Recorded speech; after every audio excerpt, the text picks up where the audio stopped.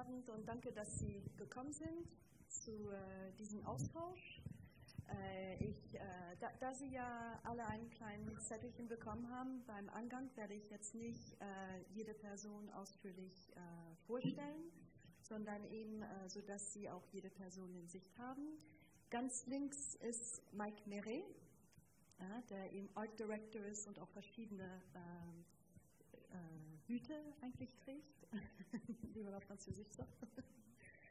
Guten Abend. Hm? Also direkt zu meiner linken Seite ist eben Konstantin Gricic, der Designer. Auf, zu meiner rechten Seite ist Tobias Rehberger, Künstler. Und ganz rechts Harald Falkenberg, Sammler. So, so sehen Sie auch das, und ich bin äh, Katja Baudin vom Museum Ludwig. So sehen Sie, dass äh, die verschiedenen Teilnehmer hier auch äh, von verschiedenen Seiten äh, der Frage eigentlich kommen. Einige eben als äh, Schaffer, als Kreativen und andere eben als Persönlichkeiten, die diese auch unterstützen oder fördern äh, oder forschen und so weiter. So hoffentlich wird die Diskussion besonders reich auch sein. Vielleicht sollte ich auch eben kurz äh, noch äh, bestätigen, dass äh, diese Diskussion eigentlich in zwei Teilen organisiert wird.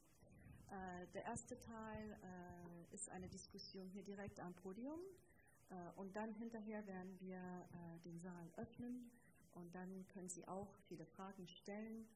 besonders heute Abend war es ja eigentlich eine geschlossene Gesellschaft. Das bedeutet, das sind also hauptsächlich auch äh, Person. Sie sind hauptsächlich auch äh, in diesem Bereich äh, aktiv oder engagiert, obwohl, das werden wir auch hinterher sehen, sehr wahrscheinlich eher im Kunstbereich oder im Designbereich und vielleicht auch einige, die in beiden engagiert sind. Aber das ist ja schon eine kleine Einweihung in unsere Thematik. Ist Design Kunst? Ist Kunst Design? Das ist ja auch eine sehr aktuelle Fragestellung. Vielleicht haben Sie äh, gesehen, dass es zurzeit in London eine Ausstellung gibt, äh, die heißt Wouldn't It Be Nice? Das ist eine Ausstellung, die auch in Genf gezeigt worden ist äh, und dann in Zürich äh, über äh, Designer und Künstler, äh, die eigentlich keine eigene Identität mehr haben. Allerdings ist Tobias Rehberger auch da drin. Das bedeutet, dass alles gemischt ist. Das ist eigentlich der Vorgang. Ob das jetzt stimmt oder nicht, das ist eine andere Sache. Aber das ist so gezeigt. Installation von Designer, Installation von Künstler und so weiter. Das stellt wirklich die Frage, ist Kunstdesign, ist Design Kunst? Das ist aber vielleicht die aktuellste von einer Reihe von Ausstellungen über diese Problematik und auch Bücher. Äh, Alex Coles hat ein Buch Design Art geschrieben in 2005 über äh, Künstler, äh, die Installationen oder Arbeiten machen, äh, die sich mit Möbeln oder äh, äh, Anwendungen auseinandersetzen. Dann war im Cooper Hewitt Museum in 2004 eine Ausstellung Design Not Equal Art von Judd to Right Read. da war vor kurzem eine Ausstellung im Grand Palais, Design contre Design, wo auch ein kleiner Beitrag im Katalog ist über die Kunstdesign-Fragestellung. Ähm, ich hatte auch, als ich die Fragnopat Palais äh, geleitet habe, meine letzte Ausstellung war eben auch eine Auseinandersetzung zwischen Kunst äh, und Design äh, anhand der Ankaufspolitik, äh, die ich dort eingeführt hatte äh, und, äh, und so weiter.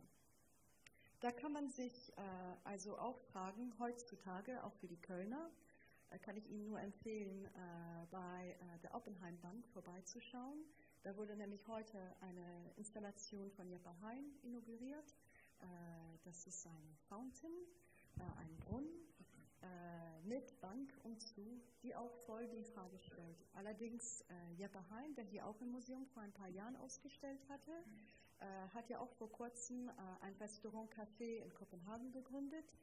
das heißt Karriere, wo viele Künstler unter anderem Dan Graham, Henri Jackset und so weiter, Installation äh, und äh, gebrauchliche äh, Teile gemacht haben und auch ein Designer, Robert Stadler, von den Radi-Designern. Also ein Künstler, der sich auch vollkommen in dieser Fragestellung eben positioniert. Dann gibt es auch zurzeit, kann ich auch sehr empfehlen, im Ludwig Forum Aachen eine Retrospektive von Atelier van Lieshout. Und die ist auch gerade seit Freitag. Äh, da kann man auch noch kurz sagen, dass Job van Lieshout, der Gründer von Atelier van Lieshout, auch ein von den ähm, einzigen Künstlern ist, der auch wirklich Möbel editiert, äh, eben durch Mui. Äh, Mui ist äh, eben ein, ein, ein, ein Fabrikant, äh, welches sehr stark von Marcel Wanders äh, eigentlich dirigiert wird. Ähm, so, das sind also aktuelle, einige aktuellen Sachen, die ich finde sowieso ganz im, im, Umfang unserer Diskussion auch interessant sind und die auch hier äh, heutzutage, September 2008, eben zeigen, wie aktuell die Fragestellung eben ist. Äh, natürlich äh, können wir auch auf die Auktion warten. Äh, wird es wieder äh, ein Möbelstück äh, von Lucen geben, die für eine Million Dollar verkauf, sich verkaufen wird. Mal, mal, sehen, nicht, wie die zeitgenössische Kunstauktionen verlaufen. Äh, heutzutage verkaufen sich äh, viele, äh, viele Designstücke für praktisch so viel Geld wie eben Kunstwerke. da sind auch Designer, die praktisch nur Einzelstücke oder Ideen entwickeln, wie zum Beispiel Mate Guichet oder Martin Bass, der sowohl Möbel eher verbrennt als Einzelstücke als die herstellt also das ist schon ein sehr, sehr komplexes Thema, sowohl vom Bereich Kunst äh, wie von Design.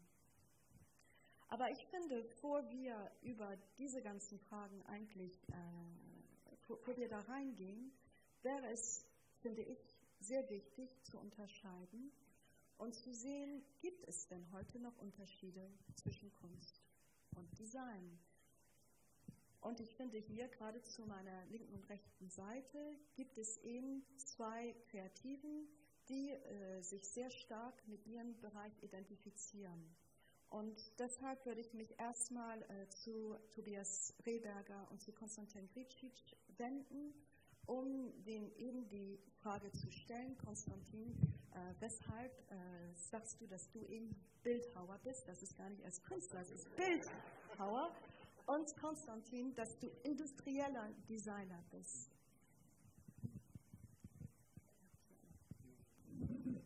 Zuerst angesprochen.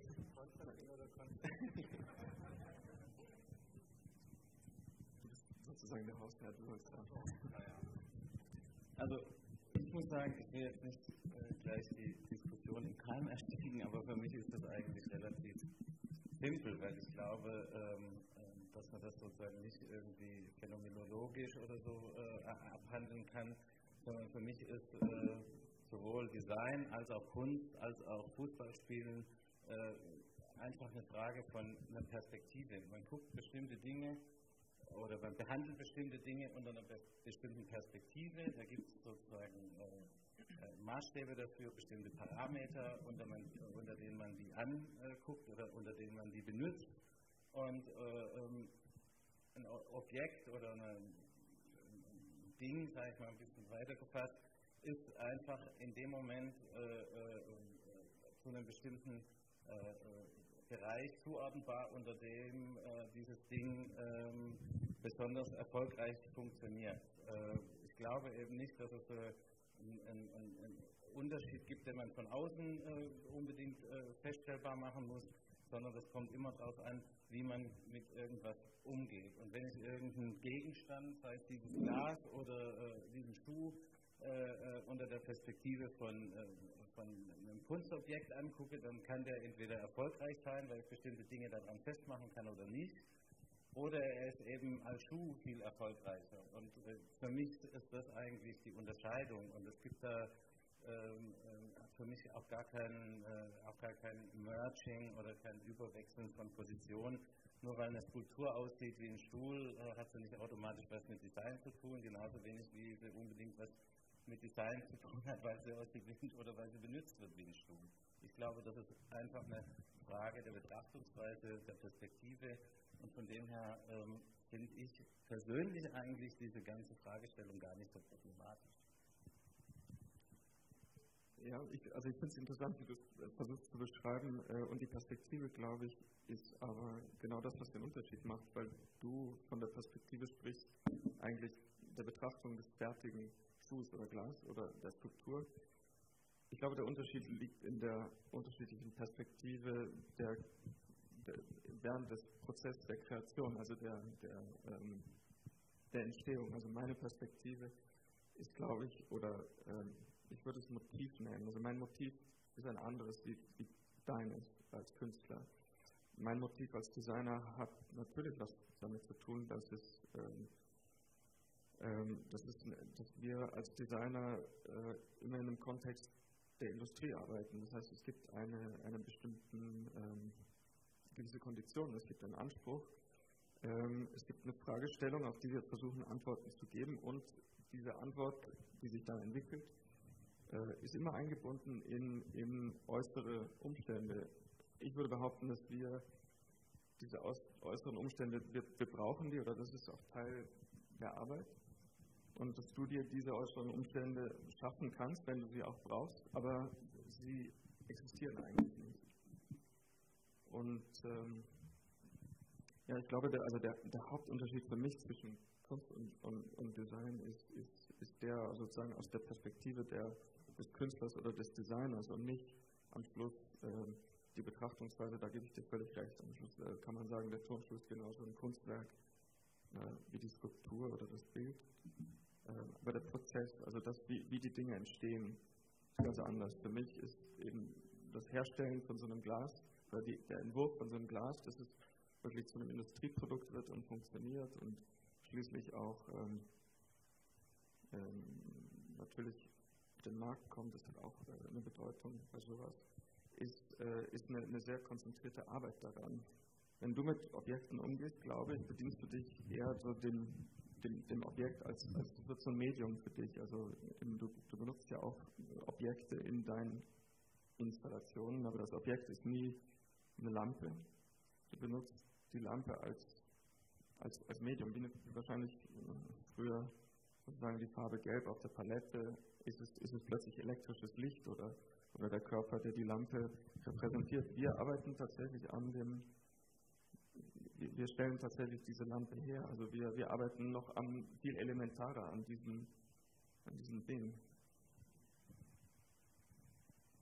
Also ich habe das jetzt gar nicht nur so aus der Betrachterperspektive gemeint, sondern mhm. auch, wie du sagst, aus der Perspektive des Produzenten, dass ich mich natürlich für bestimmte Probleme oder so Dinge, die ich als Probleme in der Kunst ansehe, interessiere und unter diesem Parameter der, der Problematik natürlich äh, genauso konzentriert und ernsthaft daran arbeitet. Das liegt einem ja nicht zu, aber es gibt natürlich, äh, jeder Künstler hat so, äh, denke ich, eben äh, seine Probleme mit der Kunst sozusagen, aus, der, aus, die, aus diesen Problemen arbeitet er heraus und versucht, Lösungen auf Fragestellungen zu finden, die er äh, sozusagen für relevant in der Kunst hält. Und so stelle ich mir das aber eigentlich im Prinzip bei allem vor. Ja? Also du hast ein Problem äh, und äh, versuchst es auf, auf diese spezifische Art und Weise, äh, die dir zur Verfügung steht, zu lösen oder, oder, oder darzustellen.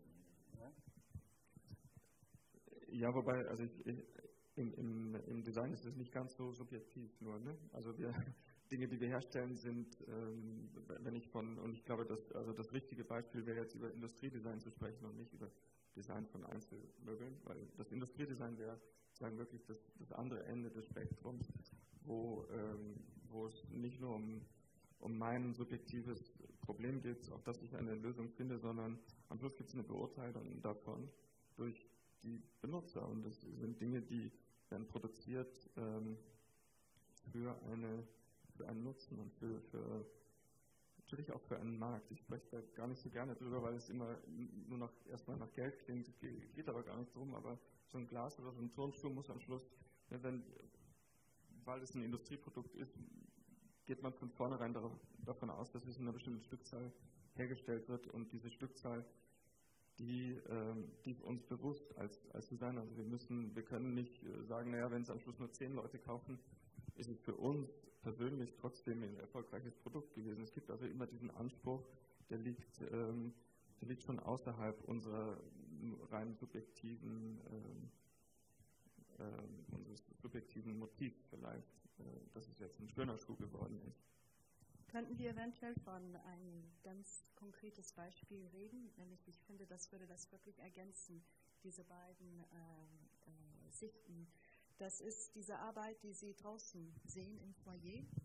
Äh, das ist eine Installation, eine Skulptur von Tobias Rehberger, äh, Infektion 3B1 plus KG1 von 2008. Und so in dieser Arbeit ist eben auch ein, sagen wir mal, Ready-Made, welches nicht anonym ist, sondern von Konstantin Glitschitsch. Und das ist eben, ich finde, ein perfektes Beispiel äh, von einem Produkt äh, des Industrial Design. Äh, es ist eben äh, vielleicht auch ein von den äh, Star-Produkten, die Sie entworfen haben. Äh, das ist auch auf dem Cover von Ihr Katalog zum Beispiel. Und das heißt Chair One. Das ist von, von Margis produziert.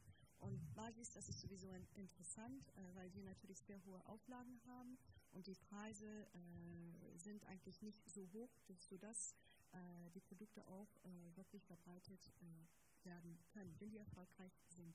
Aber das wäre ganz interessant, vielleicht, Konstantin, wenn du erklären könntest, äh, durch diesen Beispiel eben, wie du an diesem Produkt, wie du eigentlich dieses Produkt entwickelt hast äh, was die ähm, äh, äh, Forderungen auch vom Unternehmen waren, wie du die Lösung gefunden hast, also diese ganzen ähm, Limits eigentlich, die im Bereich des Designs existieren und dann vielleicht danach, weshalb Tobias du dich für dieses Produkt eigentlich interessiert hast. Es gibt ja so viele, weshalb dieses.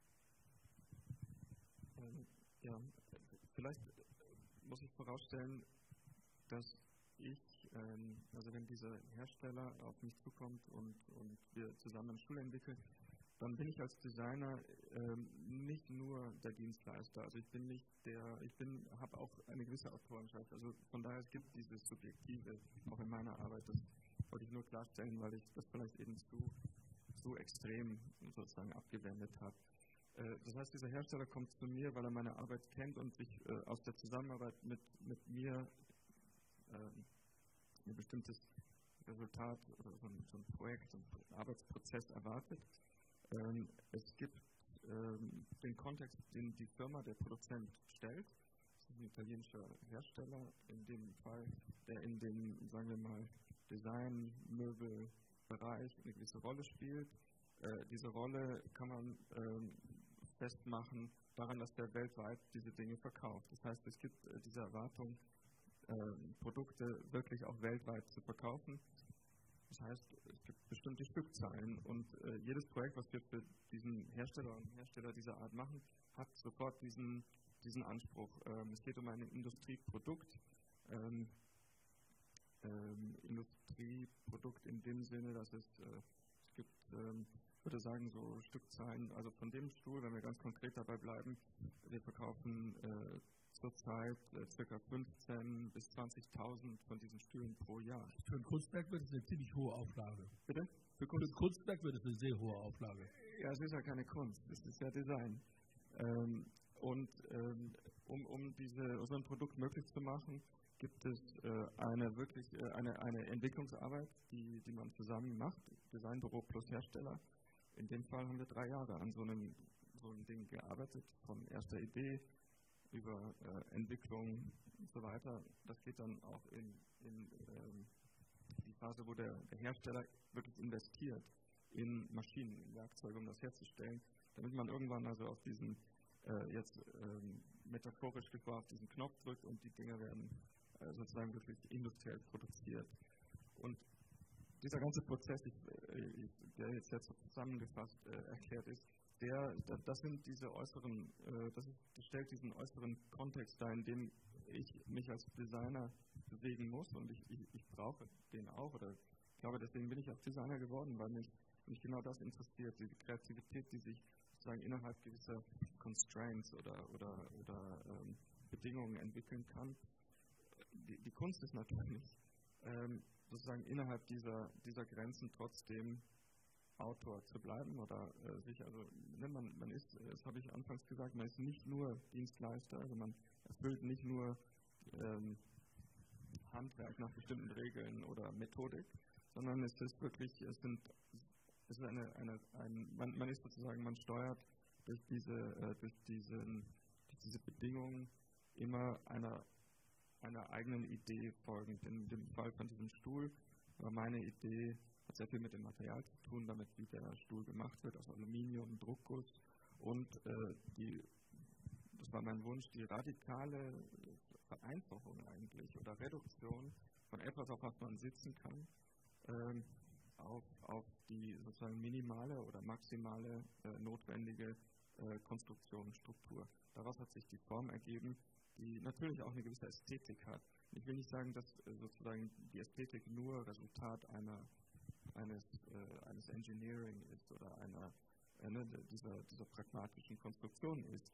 Ähm, die Ästhetik ähm, entsteht aus dem Prozess und wird natürlich auch von mir sozusagen zugelassen oder, oder, oder äh, abgewendet. Ähm, aber ich glaube, am Schluss ist der Stuhl, der ähm, jetzt sehr, äh, als Bild sehr stark geworden ist, nie, den hat es nie am Anfang des Projekts als starkes Bild gegeben. Das hat sich erst entwickelt, sozusagen aus dem ähm, Entwicklungsprozess. Also für mich ist es ein, doch ein gewisses Resultat einer Logik. Äh, wenn ich mal eine Frage habe, äh, spielt denn da eine Rolle, dass man sich den Geschmack des Publikums fügt oder will man einen Geschmack bilden?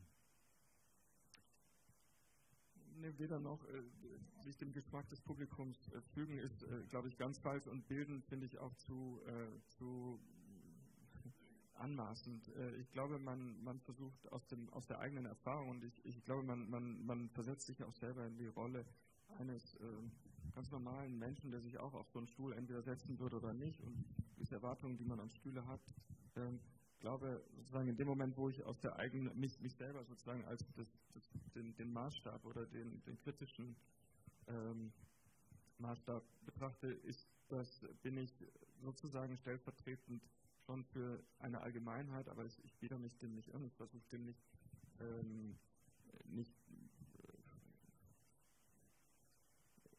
äh, ja, wie gesagt, ich, ich, glaube, es geht, es geht äh, nach wie vor um so eine, so eine eigene Haltung, also man selber, weil man sich mit diesen Dingen so, so konzentriert beschäftigt, kann man, glaube ich, gewisse Schritte weitermachen, wie jemand, der mir zum Beispiel das Briefing gibt oder, oder wenn man im Publikum fragen würde, was für ein Spiel konnte das sein. Nur sozusagen aus diesem Arbeitsprozess und der, der intensiven Auseinandersetzung damit, glaube ich, kann man diese entscheidenden Schritte weitergehen und zu sagen, also wenn wir den Stuhl ja, sozusagen große Löcher reinschneiden oder ist umgekehrt gesagt aus, aus dünnen Ästen aufbauen, äh, kann man trotzdem noch drauf sitzen und der Stuhl ist eigentlich für den Außenbereich gedacht. Also wird es eigentlich sehr ökon ökonomisch, aber auch äh, sozusagen dem, dem, dem Kontext ähm, angemessen. Das Ding wird nicht so dreckig, wird nicht so heiß oder wird nicht so kalt. Deswegen Wasser tropft ab. Also ich könnte, äh, ne, also es gibt auch solche, solche Überlegungen, die, die stehen nicht im Vordergrund, die spielen aber trotzdem mit. Ich glaube, man kann das Publikum sozusagen da durch die wenn man überzeugt, ähm, äh, kann, man, kann man sie dahin bringen, dass wir am Schluss den Stuhl akzeptieren. Immerhin 20.000 ungefähr, sagen wir mal, pro Jahr. Ja, und Tobias, weshalb hast du eben diesen Stuhl gewählt? Also ich habe ja überhaupt in meiner Arbeit eine große Vorliebe, ähm, sozusagen schon äh, vorgefertigte, starke Ästhetiken sozusagen ein, einzubauen. Weil mich äh, das äh, sozusagen mich interessiert das, wie, äh, wie, wie, das in meiner eigenen Kunst funktioniert, von was ich beeinflusst bin, äh, wo die Dinge herkommen und was äh, dann daraus entwickelt wird. Und diese Lampe, die da drüben, drüber hängt, kommt ja aus einer Serie von Arbeiten, die mit diesem Klettband gemacht sind, ähm, wo äh, die eigentlich davon handeln, wie Leute, die jetzt in dem Fall für mich arbeiten, sozusagen quasi im vorauseilenden Gehorsam Dinge für mich produzieren, von denen sie annehmen, äh, dass sie dem entsprechen, äh, was ich gut finde. Und äh, das, die sind deswegen aus diesem Klettband gemacht, weil ich dann eben von dem, was ich vorgefertigt habe, dann ins Atelier, im Atelier hingehe und die dann sehr schnell und einfach umbauen kann oder auch nicht umbauen kann, je nachdem, wie weit das dem entspricht, ähm, ähm, was ich mir selbst vorstelle und wie weit äh, die, die, andere Leute sozusagen dem versuchen zu entsprechen, was ich mir vorstelle. Und äh, diese, diese Arbeit dann, äh, diese, diese, dieses Geflecht von diesem Klettband mit dem Stuhl zusammen, ist sozusagen eine Verlängerung in nochmal eine andere Dimension, wie das dann nur was hängt. Ja? Und, äh, aber ich bin grundsätzlich sehr daran interessiert, ähm, auch äh, äh, an Dingen, von denen ich beeinflusst bin und bin dann interessiert, warum mir das so geht und äh, wie ich die äh, dann sozusagen als, keine Ahnung, wie die dann durch mich durchgehen und äh, irgendwie vielleicht zu was anderem werden. Aber ich bin immer daran interessiert, ähm, meine eigene Arbeit in einer gewissen Weise stark, stark von außen beeinflussen zu lassen und das zuzulassen auf eine. Ja, und hast du auch gemacht. Das ist so eine Art äh, Ready-Made Rectifier, weil du darauf gemalt hast, so Graffiti.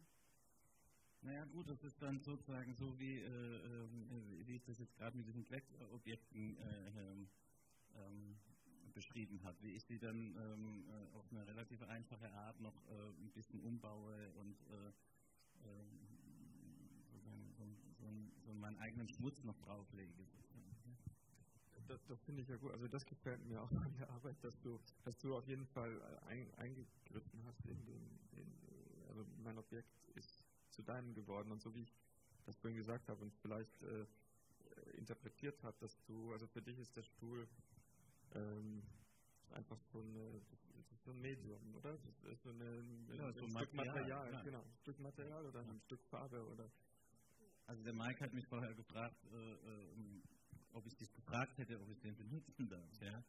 Also da habe ich jetzt irgendwie, hätte ich nie dran gedacht, weil ich das auch überhaupt nicht als ein Problem der Autorenschaft sehe. Ähm, ich hätte auch kein Problem, wenn meine Arbeit von jemand anderem auf irgendeine Art und Weise benutzt wird, die ihm gerecht wird. Ja? Also ich finde, das ist das ist irgendwie so ein, so ein komischer 19. Jahrhundertbegriff von Autorenschaft. Ja, wo, wobei, ja. Also ich finde es auch ganz richtig. Ich bin, ich bin froh, dass du mich nicht gefragt hast, was ich auch sagen soll.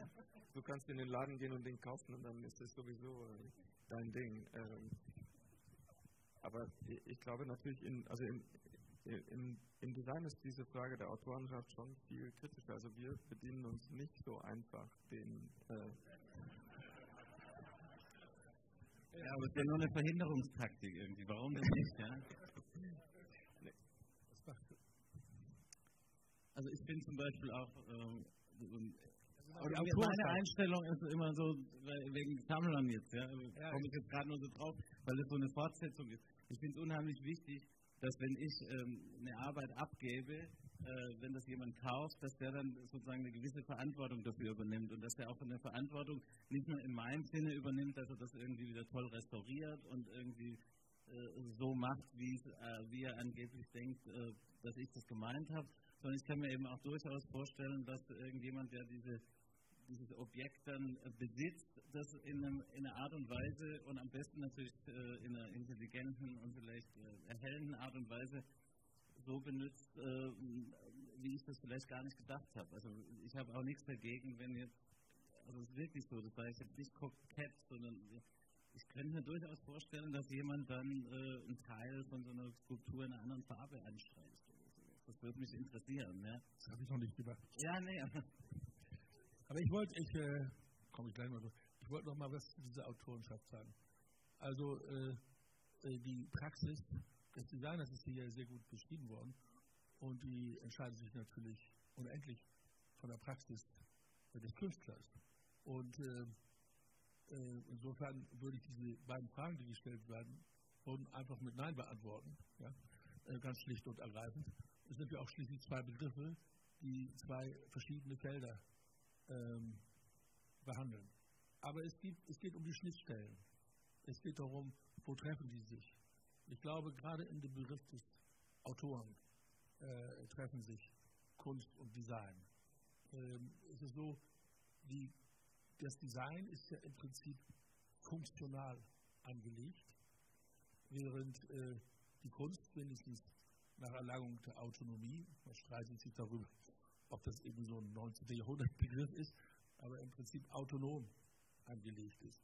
Und alle Versuche, den, den Autoren auszuschließen, kennen Sie, mannigfaltige Besuche, haben in der Kunst letzten Endes ja nicht gewirkt. Der Autor ist immer wieder zurückgekehrt. Und ähm, ich glaube, das ist der äh, Punkt, wo sich Design, äh, wo versucht das, das Design diesen Autorenbegriff, kann auch mal sagen, böswillig ist, anzuzapfen aus der Kunst. Ja?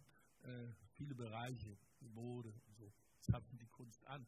Sogar die Gesellschaft als solche zapft die Kunst an. Nicht? Wir kommen in einen ganz allgemeinen Kulturbegriff. Das wäre auch nochmal für mich ein interessantes Thema. Also die Privatisierung der Kultur, äh, die ja mit Riesenschritten vorangeht, wenn die Mittel für die Museen noch nicht mal zur Verfügung gestellt werden. Ja, und, äh, und äh, das sind äh, für mich die wichtigen Fragen. Aber ich glaube, dass, dass äh, das Dysfunktionale der Kunst immer wieder aufgenommen wird vom Design. Und äh, wenn Sie Stardesigner haben, genauso wie Sie Star-Architekten haben, äh, die formen ihre ganz eigenen Sachen. Die scheren sich um gar nichts, was die anderen Leute denken. Nicht, äh da ist dann die Überhöhung da. Nicht, da ist nicht mehr so bescheiden, wie Sie das gesagt haben, sondern äh, da, da, verkauft man seinen eigenen Stil. Ja, fast Sinne des Wortes. So, ich rede vielleicht ein bisschen lang, Entschuldigung bitte. Also das, das war mir wichtig, also äh, da zu unterscheiden. Auch in der Kunst hat man ja versucht, weg vom Autor, weg von der Autonomie, immer wieder soziale Elemente reinzubringen. Ja? Das ist ja das Entscheidende. Hat die Kunst soziale Elemente? Da, da, von der Seite kommt die Kunst dem Design nahe. Von der Autorschaft kommt das Design, das Design bei der Kunst bedienen, aber umgekehrt bedient sich die Kunst, was das Soziale angeht, die soziale Praxis auch letzten Endes. Äh, und ich weiß, noch in den 60er Jahren hieß es, jede Kunst muss äh, muss äh, kulturrelevant sein, muss gesellschaftsrelevant sein. Wenn sie nicht gesellschaftsrelevant war, dann durfte sie nicht auftreten. Das waren Jahrzehnte, 60er, 70er Jahre. Nicht, äh, bis der Autor wieder die Überhand gewann. Gut, das wollte ich mal anfügen. Und das, äh, aber wenn, beim Stardesigner, das wäre für mich eine interessante Figur. Da sieht man alles anders aus. Obwohl äh, Konstantin Ricic ist, wie Sie durch Art Cover auch gesehen haben, der Star-Designer. Weiß ich so Bescheid. Er tut aber nicht so. Grade, aber ja, das ist immer dein Problem, Harald. Das kenne ich schon, ja? aber Wenn einer nicht so tut, ja, dann glaubst du dem nicht. Nee, ich, ich, ich, ich höre, was ich höre, ja. Aber was eigentlich schon interessant ist, auch in, in, in, in Ihrer Analyse und Ihrer Bemerkung, ist auch, wie das vom, vom Publikum äh, eben verstanden ist und worüber kommuniziert wird. Nämlich, wenn man äh, an äh, Mark, Newson denkt, zum Beispiel, der, äh, wo, wo, seine Einzelstücke oder kleine Serien äh, ein Vermögen kosten, zur gleichen Zeit ist, bleibt er ein vollständiger industrieller Designer. Jetzt, wenn Sie jetzt in Qantas Airlines steigen, alles, das ganze Interior Design ist von ihm entwickelt. Und wenn Sie hören, wie er das ausgedacht hat, äh, wie breit äh, ein Sitz sein soll, so dass man ein bisschen mehr Platz hat zu sitzen. Das sind alles, das ist wirklich die Denkensweise eines Designers. Und ja, heutzutage äh, kommuniziert man oder hört man viel über die Stücke, die ein, eine Million wert sind, aber zur gleichen Zeit, er ist hauptsächlich ein industrieller Designer. Dann gibt es andere, wie äh, Martin Sekeli, ich denke zum Beispiel einen Franzose, der macht jetzt eigentlich mehr und mehr Einzelstücke und kleine Serien äh, bei Creo und so vieles industrielle Design macht er nicht mehr. Also, weil eben diese Kunstdesign, sagen wir mal, einen großen Erfolg hat. Das ist also schon eine sehr komplexe Frage. Und das, aber ich denke, jemand wie Konstantin Gritschisch, da kommen wir vielleicht auch ein bisschen später zu, äh, hat ja auch schon Einzelstücke und kleine, sagen wir mal, kleine Serien gemacht, obwohl das nicht der Hauptansatz ist. Aber was uns jetzt eigentlich, finde ich, sehr interessieren würde, weil Sie auch von den Schnittstellen gesprochen haben, ist eben Mike Mary. Nämlich, wenn man schon liest, wie Sie sich äh, darstellen, da ist nicht nur ein Wort, da sind mehrere Begriffe. Und Begriffe, wo man hier diese zwei Positionen hört, man würde denken, ja, sind die eigentlich nicht, äh, äh, äh, sind die nicht im Gegensatz, also antinomisch? interessanterweise habe ich das auch ähm, am Anfang gedacht. Also mir war das gar nicht so klar, wie ihr dann theoretisch in der Definition dessen, was ihr tut, euch eigentlich auch abgrenzt voneinander. Weil ich glaube, letztendlich ist es natürlich immer so, Interesse ähm, steuert die Wahrnehmung. Und das liegt ja dann doch im Auge des Betrachters, weil Sie, Herr Falkenberg, haben eben gesagt, in Bezug nimmt auf die Skulptur von Tobias, inklusive den Stuhl von Konstantin, dass der Designer die Kunst anzapft. Jetzt könnte ich ja sagen, Tobias hat aber schon den Stuhl genommen von, und eigentlich hat er als Künstler den Designer angezapft. Das ist ja nun wirklich so ein 50-50-Piece da draußen. Und ich glaube, ähm, das ist das Entscheidende, was wir heute begreifen müssen. Und ich empfand das eben am Anfang, sage ich jetzt einfach mal so ein bisschen schwer. Weil ich dachte, man geht schon eigentlich ein bisschen leichter damit um. Nicht, dass ich jetzt für Oberfläche ähm, oder für eine gewisse Oberflächlichkeit ähm, appelliere. Aber ich glaube, das ist einfach auch ein Phänomen unserer Zeit. Ich habe gemerkt, ihr eiert mit dem Begriff rum Autorenschaft, Identität, Dienstleister, Markt. Und machen wir uns nichts vor. Ich meine, der Kunstmarkt ist sowas von einem Explodieren. Es ist schon wirklich pervers teilweise. Und äh, genauso, ich habe immer das, ähm, also bei mir war das natürlich auch so von der, ähm, ich ich bin ja jemand, der äh, am Anfang nicht gesagt hat, so ich bin jetzt Künstler oder ich bin jetzt Designer, sondern ich habe halt mein Magazin gemacht. Darüber bin ich halt Artdirektor geworden. Das ist dann in der Werbeszene ge gesehen worden. Dann war ich eine Werbeagentur. Das hängt mir bis heute hinterher. Ist aber okay, kann man Geld mit verdienen, solange man sich nicht zu sehr verstellen muss. Und auf der anderen Seite ist es aber so, dass ich durch sehr, sehr interessante Persönlichkeiten, und das sind dann für mich zum Beispiel die Unternehmer, äh, die mir sehr gute Möglichkeiten oder sagen wir, ähm, Situationen geschaffen haben, wo ich mich selbst entdecken durfte. Ich habe nicht eine klassische Ausbildung als Designer, ich habe nicht eine klassische Ausbildung zum Beispiel als Künstler, und, ähm, aber inzwischen 25 Jahre Erfahrung und war in unterschiedlichsten Disziplinen.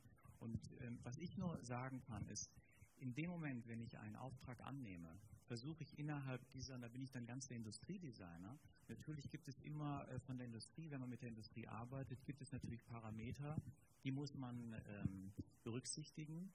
Und dann hatte ich halt äh, glücklicherweise vor drei Jahren diese Möglichkeit, dieses Farmprojekt, das Farmprojekt zu realisieren.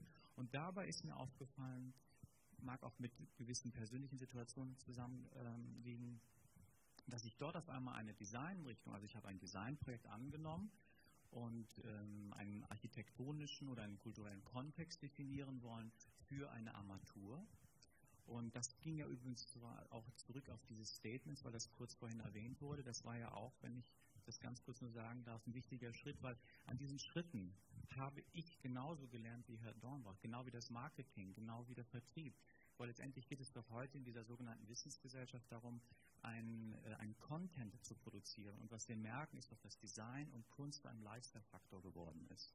Alles ist da draußen designt. Also ist es doch auch mal, oder sagen wir in den letzten zehn Jahren wurde sehr, sehr viel ästhetisch unternommen. Und das liegt doch nahe, dass halt ein Industriedesigner ähm, auch versucht ist, vielleicht sich mal auf experimentelle, limitierte Editionen einzulassen, um in diesem ähm, sage ich mal, jetzt wie der PC-Kontext auch etwas anderes zu probieren. Das kann doch nachher wieder hochinteressant sein für die Massenproduktion. Ich denke zum Beispiel auch an Fashion, weil ich habe das Gefühl, das eine, die eine kulturelle Disziplin ist mehr wert als die andere. Ich, das ist aber nicht so, genau. Ich empfinde das nämlich nicht so. Ähm, natürlich habe ich manchmal auch Kopfschmerzen, wo ich sage, darf ich das machen, darf ich ein Haus bauen? Okay, ich habe ein Haus gebaut hier, ich habe da was gemacht, diese Geschichten und kann einfach nur hoffen, äh, dass ich immer mit einem sehr, sehr guten Team unterwegs bin und letztendlich mir selbst auch einen Kontext schaffe, wo das dann, was Fachfragen anbelangt, auch ähm, ermöglicht wird. Aber worum es mir eigentlich geht, ist doch, ähm, wir sind jetzt im 21. Jahrhundert, wir sind jetzt irgendwie die ersten zehn Jahre, wir kommen langsam raus aus diesen ähm, postmodernen äh, äh, Ebenen. Es ist alles in Bewegung, das Leben folgt keiner Agenda. Dieses ewige Definieren wollen, und das ist das, was am Anfang passiert ist. Ist Design so per Definition? Ist es Kunst, ist Freigeist, Autorenschaft? Ich glaube letztendlich, es geht darum, äh, deutlich zu machen, dass die Dinge in einer Bewegung sind. Und nichts ist endlich. Und all das, was immer man definieren will, hat einen gewissen Zeitraum, hat aber auch schon ein eingeschriebenes Verfallsdatum.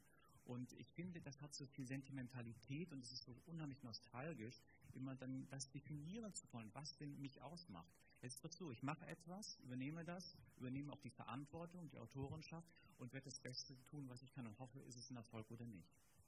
Ja, man muss sich doch unterhalten können. Natürlich. Nicht also, Absolut. Äh, nicht also, wenn wir die Begriffe nicht mehr benutzen dürfen, wo kommen wir da hin? Genau. Deswegen will ich ja auch mal ein bisschen. Also ich finde auch, also ich bin eigentlich mehr an jetzt nicht, es geht nicht um Abgrenzung oder um, um Feindschaft und auch gar nicht um Nostalgie. Hierarchie, auch keine Hierarchie. Aber es geht, um, es geht schon um Differenzen. Und diese Differenzen interessieren mich mehr als die Gemeinsamkeiten irgendwie. Ja. ja. also, weil das ist, wie du sagst, also da kann man sich dann unterhalten und nicht nur unterhalten so, sondern dann kann man auch nachdenken, mit sich selbst unterhalten. Ja, Konsens ist ja dann am Ende auch langweilig. Was? Auch langweilig, ja, weiß nicht. Ja, ich, ich finde es auch einfach zu leicht zu sagen, dass immer alles möglich und dynamisch und so ist. Und ich finde eben genau gerade heute ist es wieder so viel äh, wichtiger und eben anspruchsvoll zu sagen, präzise, was ist es genau, was man will.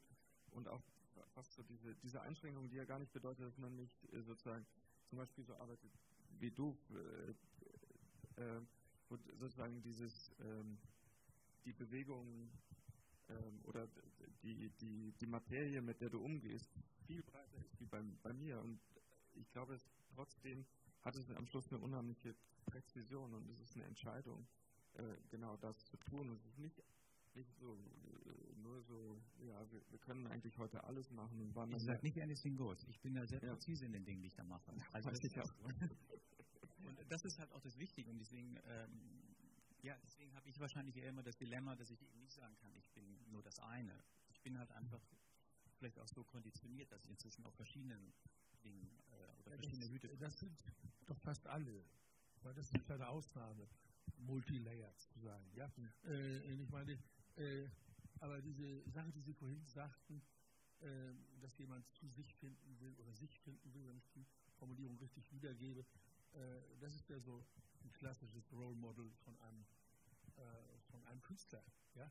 Und äh, ich finde, wir sollten schon, auch wenn man nur typologisch reden kann und keine scharfen Kategorien ziehen kann, sollte man doch schon versuchen, die Kernbereiche äh, zu bewahren. Ich, äh, ich, fand immer sehr interessant, ich habe neulich ein Interview mit Boris Preuß über Design gelesen und äh, da vertrat er die These, ähm, wenn das ein Designer, die würde ich gerne mal die Frage stellen an die Designer, dass ein Designer äh, eigentlich unbequeme Sachen machen muss.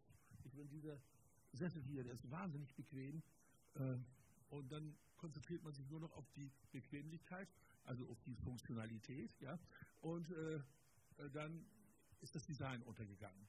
Also Boris Greuß mindestens vertrat die These, äh, gutes Design muss unbequem sein, muss schmerzen, ja, damit es auffällt.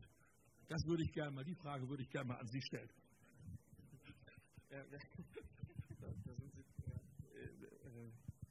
ich will jetzt nicht über Bequemlichkeit reden, weil das ist äh, so ein ganz anderes äh, Feld. Ähm, aber ich glaube, äh, die, diese Bequemlichkeit der Dinge oder das, was, was Design, wie, wie, Design unbequem sein kann, ich glaube, das ist die, die Rolle vielleicht von einer gewissen Design-Avantgarde, die, die es innerhalb natürlich der ganzen Design-Szene und Bewegung gibt und auch geben muss und die ganz wichtig ist. Also ich würde das auch immer behaupten und, und sehe auch ähm, in vielen, was wir als Büro machen, das sogar fast als, als Rolle, auch gewisse Dinge zu, zu stören und, und, ähm, und sozusagen an, an diese, an, in diesen Grenzbereich zu bringen, wo Dinge äh, vielleicht unbequem werden, aber es gibt, und, und das ist eine, eben habe ich von Industriedesign gesprochen und von diesem Anspruch, dass die Dinge da auf dem Markt vielleicht 20.000 Mal verkauft werden müssen. Jetzt äh, würde ich von Dingen sprechen, die das überhaupt nicht tun, aber trotzdem mit der Industrie arbeiten und äh, vielleicht ein gewisser Vorreiter sind für, für, für, Entwicklungen, die dann in Gang kommen.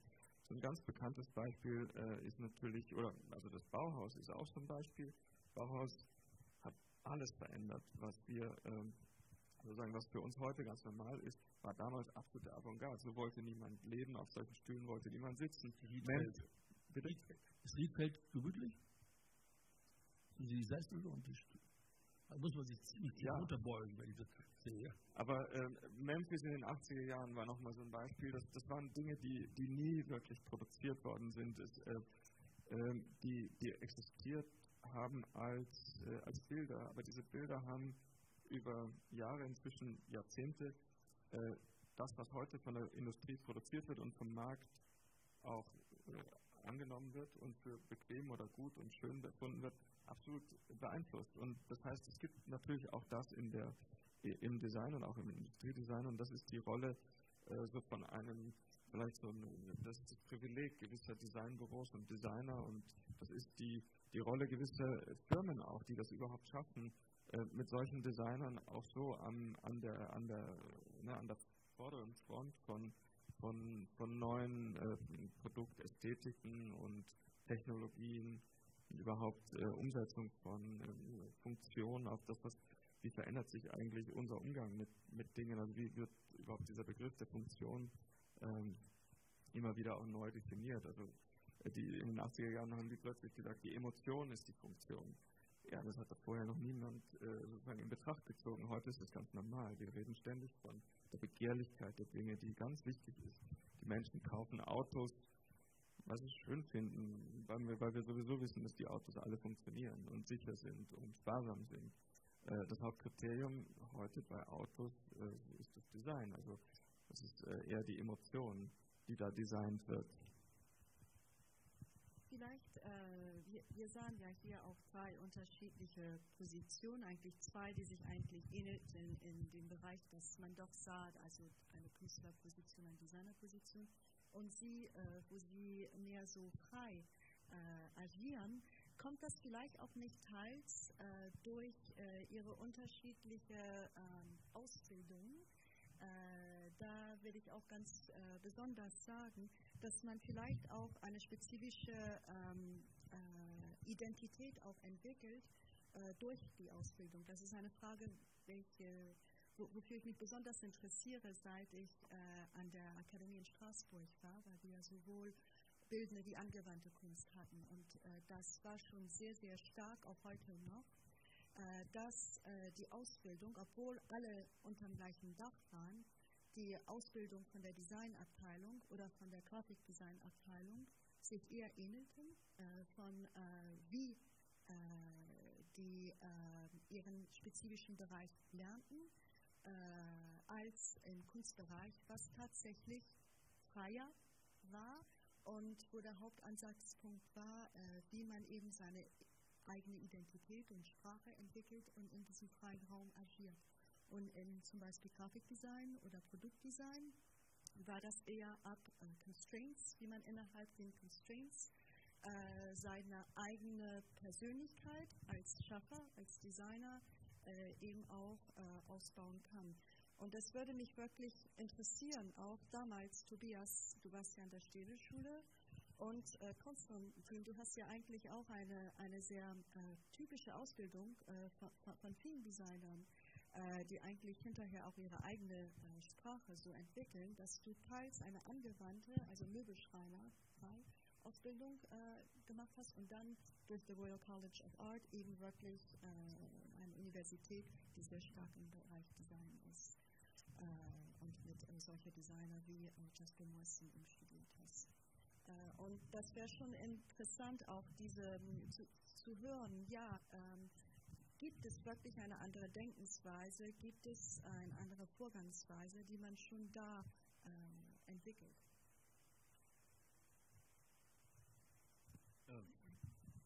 ich, ich weiß nicht sehr viel über die Ausbildung von einem Designer, aber ähm, also in der Kunst halte ich äh, äh, eigentlich das für äh, Wichtigste, dass man äh, Leuten, die, also erstmal muss man sich für Kunst interessieren, ja, also das ist äh, ähm, das ist äh, der Ausgangspunkt von allem, dass man sozusagen, ähm, dass man das so umtreibt und so verrückt macht, dass man damit was zu tun haben will. Ja? Und dann bietet so eine Kunstakademie eben, finde ich, in, ähm, so, ein, so ein bisschen so ein fast so ein Schutzraum, wo man sich einfach entwickeln kann und wo man äh, ähm, sozusagen für sich selber äh, einen Weg machen kann, wo man äh, das, was einen da dran umtreibt, äh, so ein bisschen rausfinden kann und sozusagen das das Problem oder die Probleme, die einen umtreiben an der Kunst, äh, für sich selbst äh, lernt zu formulieren. Also es gibt ja nicht eine wirkliche Ausbildung, glaube ich, als Künstler, sondern ähm, äh, die Lehrer, die dort sind, die sind mehr oder weniger so ein bisschen Steigbügelhalter, aber die Leute, die dort versuchen, was zu entwickeln, müssen ja immer was entwickeln, was sozusagen über das rausgeht oder das oder zumindest was anderes ist, was was das ist, was die Lehrer machen. Also äh, deswegen kann man eigentlich äh, Kunst niemandem beibringen, sondern man kann nur ihm helfen, äh, jemandem helfen, ähm, das für sich selbst hinzukriegen. Aber ich kann ihm nicht sozusagen sagen, wenn du, wenn du das gelernt hast und das gelernt hast und das gelernt hast, das sind alles Dinge, die ich dir sagen kann, dann bist du ein Künstler. Ja? Also das weiß ich nicht, ob das im Design, also da gibt es bestimmt vielleicht so ein bisschen ein paar praktischere äh, Dinge, aber im Endeffekt äh, ähm, ähm, muss es bei einem Designer, glaube ich, auch so sein, dass ihn bestimmte Dinge umtreiben, äh, dass er bestimmte äh, sozusagen Fehlstellen in diesem Bereich sieht, die er äh, gewillt ist äh, oder wo er Spaß dran hat, die auf eine gewisse Art und Weise aufzufüllen. Sonst, äh, ich meine, das ist ja die Antriebsfehler von allen, sonst macht man das ja nicht. Ja.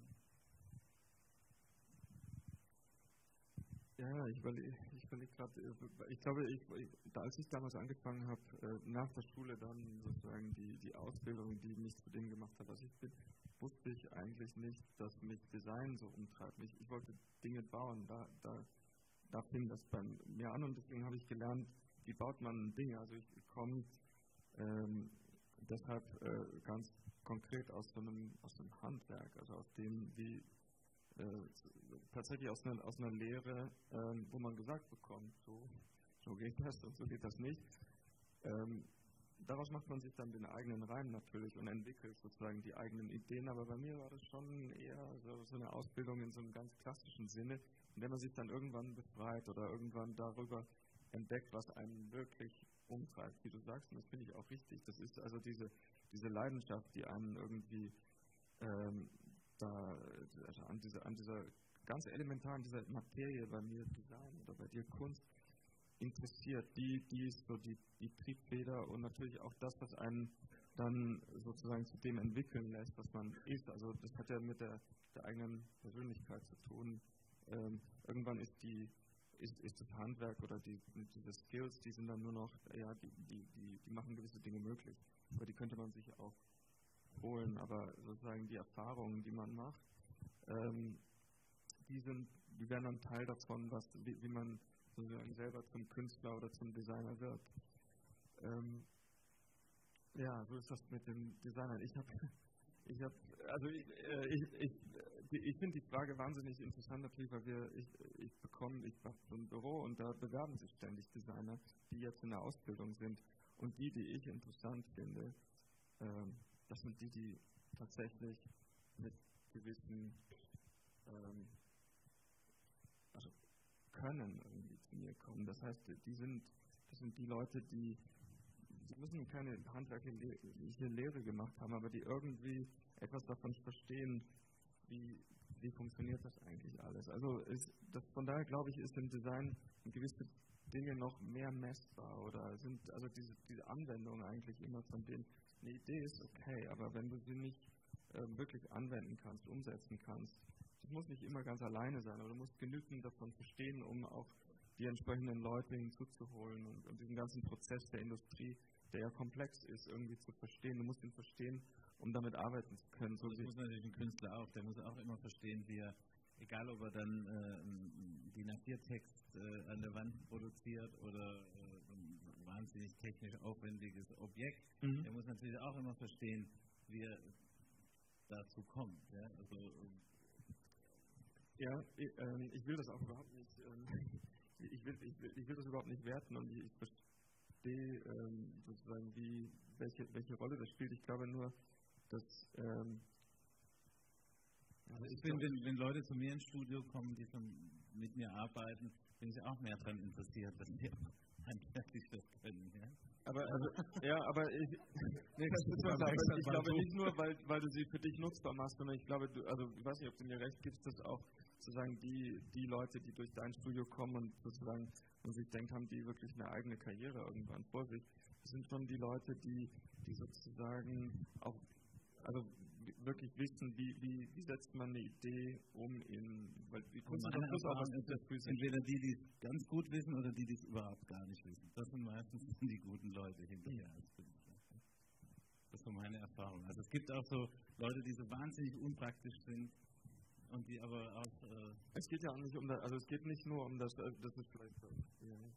Es geht nicht nur um das, das Handwerkliche und um die Geschicklichkeit im, im Machen, aber so nimm die, diese eine, so, ein, so ein Verständnis oder eine Intelligenz darin, wie kann man eine Idee umsetzen. Also das kann auch jemand sein, der davon überhaupt nichts versteht, der geht halt aber zu der richtigen Person, die ja, das für ihn macht. Äh, aber auch das ist Teil davon. Ja. Ähm, äh, weil wir gerade im Bereich der Ausbildung sind. Also bei uns ist es zum Beispiel auch so, ich glaube, man muss da auch nochmal differenzieren. Die meiste Zeit mache ich natürlich auch das Design für Magazine. Und da habe ich natürlich ein viel, schnelleres Feedback. Und ähm, bei mir ist es wichtig, natürlich, wenn sich Leute bei mir vorstellen, habe ich auch die, die halt schon eine sehr, äh, vielleicht eher eine progressive Art haben, die sehr stilsicher sind. Das ist schon relativ schnell zu sehen. Aber das Wichtigste, also das ist quasi ähm, das, was ich erwarte als Mitgift, ist das, dass sie die ähm, Kultur dekodieren können. Und ich glaube, das ist das, was mich persönlich auch sehr interessiert. Äh, mir geht es nicht um, dass alles geht. Die Präzision ist wahnsinnig wichtig im Moment. Aber ich glaube, es ist auch wichtig äh, zu erkennen, dass man von gewissen Definitionen sich verabschieden muss, weil wir eine neue Situation haben. Wenn ich zum Beispiel für die Industrie arbeite, äh, werde ich daran gemessen, ist das neu? Also dieser, dieser Wahnsinn halt permanent diese ganzen Medien zu bespaßen, immer wieder neue Dinge zu entwickeln, bedeutet natürlich, dass ich mich mit sehr vielen, sehr unterschiedlichen kulturellen, kreativ, visuellen Disziplinen auseinandersetze. Und natürlich bin ich dann halt auch ähm, äh, versucht, äh, vielleicht ist es wie so eine Art DJ-Kultur, ne, dass man halt auch samplet, aber ähm, nur dann, wenn es auch tatsächlich für das Projekt Sinn macht. Und ich glaube, daraus, ähm, das Wichtigste ist dann für mich, wenn ich dann mit Leuten zusammen arbeite, dass man sich intuitiv schnell ein paar Codes zuwerfen kann, sei es aus dem Fashion-Bereich. Wir reden gar nicht über Musik. Musik ist, finde ich, gerade als non-visuell, wenn man jetzt mal die Videotipps beiseite nimmt, so wichtig, wie die halt gewisse Gefühle, Emotionen transportieren, als Verstärker funktionieren für zum Beispiel Arbeiten.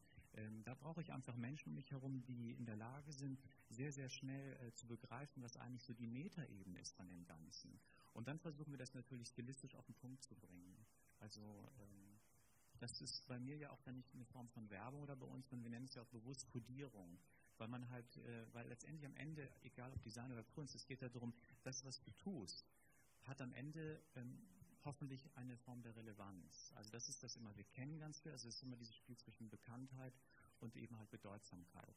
Einiges ist bedeutend und ähm, im Moment ist es halt auch so, es gibt wahnsinnig viele Künstler, weil es wahnsinnig viele Magazine gibt. Ähm, also den Eindruck habe ich zum Beispiel, ja. Ich kann mir die alle gar nicht mehr merken. Und jede, jeden Monat gibt es halt eine neue Watchlist, es gibt immer mehr Messen, es gibt immer mehr Eventkultur. Das muss halt alles irgendwie organisiert werden. Und am Anfang hat man das Gefühl, man ist eigentlich ein bisschen ohnmächtig, aber am Ende des Tages sind es dann auch wieder nur ein paar. Und deswegen ist, glaube ich, wieder das Entscheidende die, die Frage der Identität. Und ähm, weiß es nicht, ist es jetzt so, ähm, fühlen sich denn die Künstler angegriffen, wenn die Designer auf einmal künstlerische Strategien aufgreifen? Also ich nicht. Ich glaube, da fühlt sich keiner angegriffen. Deswegen glaube ich halt einfach, ist das auch wirklich ähm, einfach eine, vielleicht eine, eine, Sehnsucht nach mehr Komplexität in den Dingen. Also ist es ja auch so, wenn ich durch die Ausstellung gehe, da sind so viele ähm, ähm, Assoziationen, Momente, da kann man an so viele Dinge denken. Äh, und das ist einfach das Schöne, finde ich jetzt auch zum Beispiel in, der, in deiner Installation, gerade dieses Weiterdenken nochmal mit den Schatten, dass eine neue virtuelle Ebene aufgetan wird. Das ist, also, und das mag ich halt daran, dass man die Dinge nimmt und sie werden irgendwie weitererzählt oder sie sind so ein Trigger. Also das geht halt einfach weiter. Man lässt, man hält den Ball im Laufen. Ob das dann manchmal vielleicht Kunst ist oder Architektur oder Fashion oder Musik oder Literatur. Ich glaube, das ist dann halt tatsächlich am Ende das, ähm, was derjenige dann da drin sehen will. Also, äh, da setzt sich eben kritisch an. Äh, dem kann ich so nicht folgen oder will ich so nicht folgen. Ich kann ihm sehr gut folgen.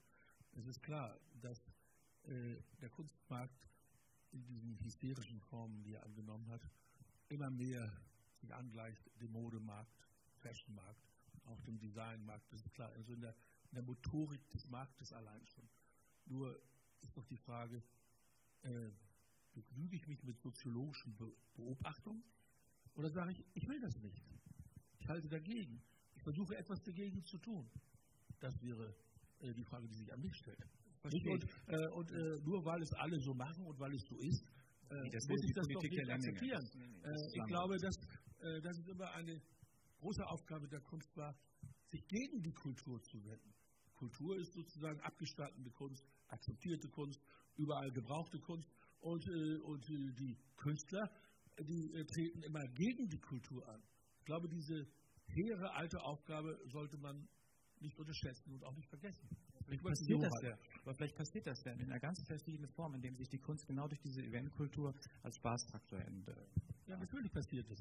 Äh, und es wird ja auch vielfach gefördert durch Galerien, durch die ganze Maschinerie, durch den ganzen globalen Betrieb, Messen. Aber äh, deswegen, äh, weil es so ist, braucht man sich doch nicht von der Kritik zu verabschieden. Das ist mindestens mein Standpunkt. Von der, von der Kritik? Ja, von der Kritik an dieser Entwicklung. Nee, nee, das ich nehme Sie nicht so hin. Äh, mich ärgert diese Entwicklung, um es ja, mal etwas buschikoser auszudrücken. Und, äh, und ich möchte alles, äh, äh, was mir in meiner Macht steht, dagegen tun. Finde ich sehr mächtig. Aber, ja. aber da, da ist aber, was nein, anderes. Ja, nicht so, dass, ja, ja, ich will, ich will auch das ist zu anpasserisch, das Gespräch. Das will ich damit sagen. Was haben Sie jetzt gesagt? Äh, die Akustik. Es ist zu anpasserisch, dieses Gespräch, die Richtung. Ja? Also mir ist der Widerstand da. Also, Herr Pfefferkenberg, Mike, Mike Murray, bin ich eventuell äh, hier, da ist nämlich, äh, da sind zwei Sachen, die auch interessant sind, was die beide andeuten. Das ist einerseits die Frage äh, zu Styling. Heutzutage ist ja Design auch ein Modebegriff geworden und äh, ich finde, das ist auch wirklich eine, ein Hauptpunkt. Uh, Styling equals Design heutzutage. Wenn Christian Lacroix uh, einen neuen Bezug für den TGV macht, das ist ein neues Design. Ist das wirklich ein neues Design? Das ist, das ist eigentlich eher Styling. Das ist die, die Mode in diese, das, das sind bestimmte Farben, ein bestimmter äh, und so weiter, Motiv und so weiter.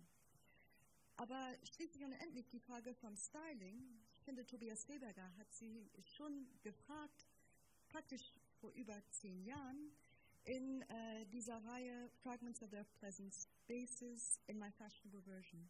Ich finde, das ist eine besonders interessante Arbeit, äh, die wir heute auch besprechen können in dieser Podiumdiskussion, weil äh, Tobias Rehberger praktisch wie ein Designer vorgegangen ist und hat eigentlich Bekannten gefragt, äh, in, in, in, in welcher, äh, sagen wir mal, ähm, äh, nicht, gar, gar nicht jetzt richtig Einrichtung, aber in, in welchem, welche Situation sie sich eigentlich wohlfühlen. Ne? Wohlfühlen, sondern es ging um so einen Moment, den man so, äh, den ich damals so, als ich das zum ersten Mal gemacht habe, so beschrieben habe, äh, wie wenn man nach der Arbeit heimkommt und dann Fernseher einschaltet. Also so, wo man dann das Gehirn ausschaltet, äh, was für eine, was für eine Situation das sind diese verschiedenen Leute der eine hat eben dann auch gesagt, Fernseher anschalten, der andere gesagt, Gemüse schneiden mhm. und so weiter. Und so weiter.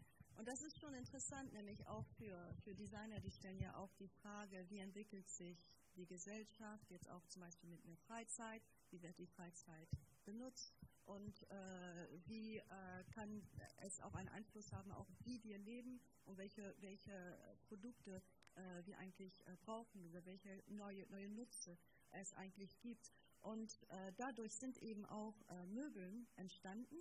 Und was daran auch interessant ist, ist, dass du eine zweite Version gemacht hast, durch Styling, wo du ungefähr gesehen hast, ja drei Jahre ja, also später. Im Endeffekt, für mich, äh, wenn ich jetzt mal so ganz reduziere, hat das so ein bisschen was zu tun mit, äh, was hat Henry Moore mit dem Nierentisch zu tun, sozusagen. Ja? Also, äh, wie. Äh, das, ist vielleicht, das ist vielleicht eine Urform. Was wie eine Urform? Eine Urform, ein ganz archaisches. Ja, naja, gut, ich glaube, das kommt aus unserem äh, kulturellen Erbe also, vielleicht. Ja, das kommt aus dem kulturellen Erbe auf der einen Seite, aber es kommt auch aus der äh, vorherrschenden Kult, äh, Kultur der, der Zeit. Ja? Und, äh, und das ist was, was ähm, mich einfach äh, interessiert hat da bei der Arbeit, ähm, was ja in der Kunst immer so eher so ein Tabu ist. Ja? Also das, äh, der Künstler schöpft sozusagen aus sich selbst und ist unabhängig von dem, äh, äh, ob die Hosen jetzt eng sind oder ob die Hosen weit sind. Ja? Und äh, das würde ich eben auch bezweifeln. Ja? Also, äh, ähm, ein Bild wird auch deswegen gelb, wenn man morgens einer großen gelben Straßenbahn vorbeiläuft, eventuell. Ja?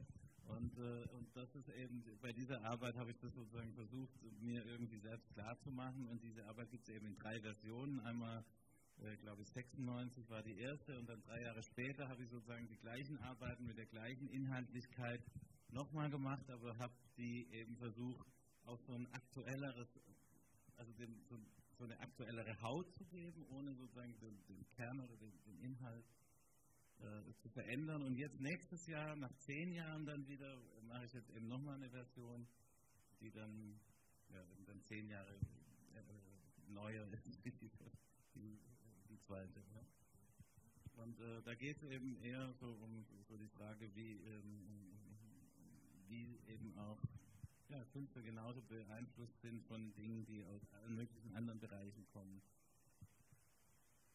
Also das, was ich eigentlich schon ganz am Anfang sozusagen stated habe. Was auch interessant sein würde, ist, äh, ich glaube, ein, ein zentraler Aspekt dieser, dieser Kunst-Design-Frage ist eben auch äh, die Frage der Ausstellung. Seit einigen Jahren äh, gibt es ja mehr und mehr Design-Ausstellungen in Kunstmuseen. Ja, darunter deine Ausstellung äh, bei der Haus der Kunst, die ja eigentlich eher äh, Kunstausstellungen machte und dann ab und zu jetzt äh, seit, seit Christiakan eben auch äh, ein paar Designausstellungen. Aber das ist schon äh, ein relativ ähm, neues Phänomen, äh, wo Design nicht nur in angewandte Museen gezeigt wird. Dann zur gleichen Zeit im Bereich Kunst äh, gibt es äh, Künstler, die äh, innerhalb Kunstmuseen oder auch andere eben Installationen oder äh, Werke herstellen, die wirklich gebrauchbar sind, äh, die also nicht die, die, die, reine Ausstellung von Objekten, die man ansieht, wie das jetzt auch außerdem oft der Fall ist in Designausstellungen, die praktisch so gezeigt sind, so ob das Kunstobjekte wären, Kunstwerke, sondern wirklich Installationen, da denke ich zum Beispiel an äh, Ritu Tiravanija, für wen das Publikum eine zentrale Rolle spielt. Das Kunstwerk existiert eigentlich nur, wenn das Publikum auch äh, mit dem Kunstwerk äh, interagiert. Insofern gibt es eigentlich zwei unterschiedliche Phänomene. Und es wäre ganz interessant, auch weil wir hier äh, zwei einen Künstler, einen Designer haben, die eben äh, größere Retrospektiven hatten äh, oder zurzeit haben, wie sie eben äh, diese Frage sehen. Außerdem, Konstantin Gricic, du hast ja auch Ausstellungen über Design kuratiert und auch deine eigene Ausstellung über Design kuratiert. Ja, also es ist wesentlich schwieriger äh, die, die, ähm, für mich gewesen, die Ausstellung über die eigene Arbeit zu machen, also das, was der Künstler ja eigentlich ständig macht oder wie so ein Teil auch der Arbeit ist, äh, Ausstellungen zu machen. Ähm, für einen Designer ist das eigentlich eher ungewöhnlich und äh, auch äh, von der Problematik. Ähm, ich, ich, glaube, Design hat durchaus Platz im Museum, ähm, aber nicht, weil es durch das Museum Kunst für Kunst wird, sondern einfach, weil ein Museum eine Plattform ist, auch über Dinge zu sprechen oder Dinge zu zeigen. Meine Interpretation äh, Design, speziell meine Arbeit in einem Kunstmuseum zu zeigen, war die, dass ich, dass das, äh, die Ausstellung sozusagen zum einen nicht aussehen durfte wie ein Möbelgeschäft oder wie ein Designladen. Das ist nämlich ganz, ähm, das passiert nämlich ganz einfach, wenn man die Dinge einfach so ausstellt. Oder, ähm, ähm, und zum anderen fand ich es aber auch gefährlich, wenn ich sozusagen mich ähm, scheinbar in die Rolle des Künstlers ähm, verwandle und, und versuche, eine Kunstausstellung aus meinen Dingen zu machen. Ich fand das nicht passend. Also für mich persönlich ähm, habe ich ähm, deshalb entschieden, man muss die Dinge eigentlich, also es geht um diese Geschichten. Ähm, man erzählt darüber, ähm, was sind diese Dinge und wie sind sie auch entstanden. Also wir haben eine Ausstellung gemacht, die natürlich eine gewisse Installation ist. Ausstellung ein wahnsinnig, es ist ein, ein, schönes Medium, also Ausstellungen, gute Ausstellungen bedeuten auch Entertainment und führen den Besucher sozusagen so sehr, ähm, auch sehr spielerisch über Inhalte und, und, und ähm, also äh, auch Dinge, die man lernt oder lesen, lesen muss und, und erfährt und so weiter. Und äh, so ist die Ausstellung eigentlich ähm, äh, äh so teilweise relativ didaktisch geworden, äh, indem wir Dinge gezeigt haben, im Resultat aber auch sozusagen versucht haben, die Geschichte zu erzählen, warum sind diese Dinge so oder wie sind sie überhaupt entstanden, was, was steht dahinter. Im Einzelnen sind viele Resultate, Prototypen, Modelle, Zeichnungen sind durchaus attraktiv, aber ich wollte sie nie als einzelnes, also den Prototyp nie als sozusagen auf den Sockel stellen. Er ist immer gezeigt im Kontext ähm, des Ganzen oder als Teil eines Prozesses, der immer darauf gerichtet ist, am Schluss ein äh, Produkt herzustellen, nämlich das, was dann in Produktion geht. Ähm, die Ausstellung als, als Gestaltung ist nur eine Art von Vehikel, um diese Geschichten zu erzählen. Die Ausstellung selber erfindet keine neuen Objekte oder schafft nichts, nichts Neues. Sie ist wirklich nur so eine Art von Hintergrund oder Erzählform. Im Gegensatz zu äh, Tobias, die die Retrospektive auch als Ansatz. Ähm, du meinst jetzt hier die Ausstellung? Ja, äh, was willst du jetzt genau wissen? Das ist ja auch eine, eine Retrospektive. Das ist ja auch eine andere. Ja, naja, das kam eben, äh, das kam eben aus dieser, äh, ähm, diesem Wunsch des äh, Städtlichen Museums, die eben die erste äh, Version von dieser Ausstellung äh, gemacht haben mit mir. Ähm, so äh, nicht eine wirkliche Retros Retrospektive, also jetzt nicht im wissenschaftlichen Sinn, aber die wollten eben eine äh, Ausstellung machen äh, mit äh, Arbeiten aus den fünf, letzten 15 Jahren und keine neuen Arbeiten eigentlich und auch kein Projekt sozusagen, das ich extra dafür entwickle. Und ähm, das hat mir aber eigentlich nicht gepasst und ich habe dann eben nach einer Möglichkeit gesucht, ähm, dem zu entkommen, dass das nur so ein sentimentaler oder halb sentimentaler Rückblick wird. Und da das sowieso in meiner Arbeit angelegt ist, dass ich mich viel damit beschäftige, eben wo die Arbeiten herkommen, aber auch wo sie hingehen und wie sie sich weiterentwickeln und wie die eine Arbeit zur nächsten wird und zur übernächsten. Und äh, habe ich eben die Idee gehabt äh, oder habe versucht, sozusagen diese, diese, diese, äh, diese Arbeiten, die, die, schon bestanden haben, irgendwie wieder äh, produktiv zu machen. Und äh, habe mir eben, äh, hatte eben den Wunsch, dass die sozusagen zu einer neuen Arbeit werden oder zu einer neuen Arbeit beitragen. Und da bin ich eben dann auf dieses, dieses System gekommen mit dem äh, Licht. Es gibt schon andere Arbeiten von mir, die äh, vorher waren, die eben auch mit diesem Schatten und äh, wie, eine, wie, eine, wie, eine, wie, eine, Skulptur dann zu, zu einer Malerei wird oder umgekehrt. Es gab schon vorher Arbeiten und so bin ich eben drauf gekommen. Und mir war es eben irgendwie ein Anliegen, äh, dass, dass es eben nicht so eine Rückschau ist, sondern dass, äh, dass diese Arbeiten auch immer wieder was Neues machen. Also ich, das beschäftigt mich sowieso. Und, äh, das war dann der Ausgangspunkt dafür, dass äh, die Ausstellung so aussieht, wie sie jetzt aussieht.